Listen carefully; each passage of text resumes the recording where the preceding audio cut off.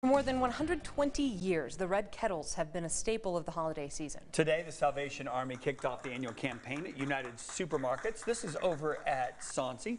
Locally, the Salvation Army hopes to raise $200,000. That money will be used to help provide food, shelter, and rental assistance for those in need.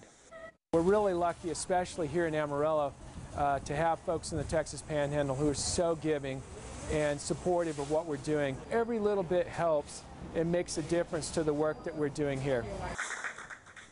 United also donated $3,000 to the Salvation Army. The campaign will run through Christmas Eve. Let's begin.